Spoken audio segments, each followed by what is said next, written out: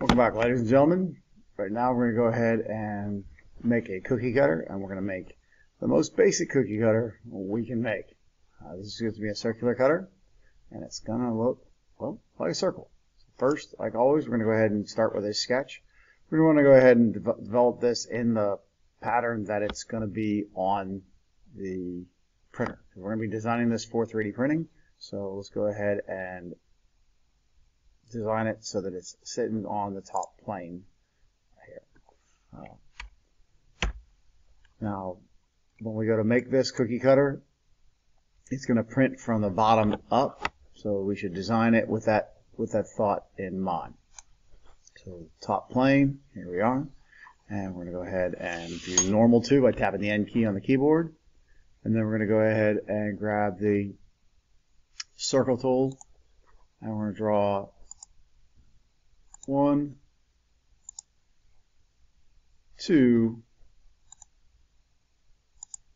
three circles. That third circle, I mean, all three circles should be concentric to each other, so we use the same center point. On this here go. There we go.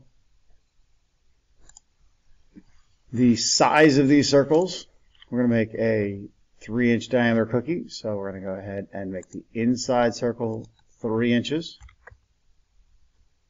and then we're going to make the outside, we're going to make the thickness of the circle, uh, the thickness of the cutting flange, uh, six hundredths of an inch, so that means that the total distance across will be 3 plus 6 hundredths, 0.06, times 2, because there's two sides. We're going to be measuring for, we're going all the way across, so that's 3 point three point three point type one two inches. And then we want to go and create a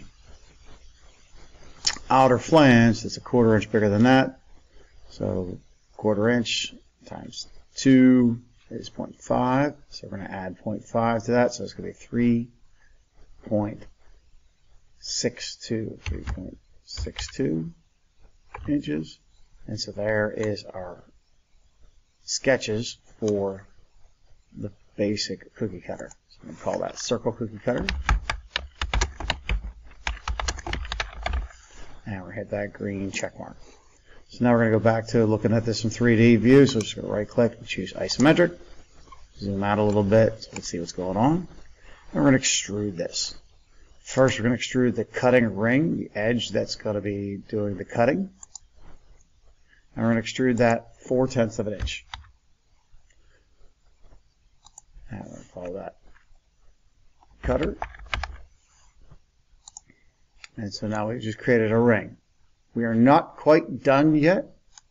Um, we, we lost our flange, you see. So we're going to go ahead and turn that sketch back on. And we're going to extrude that flange. Is our reinforcement flange.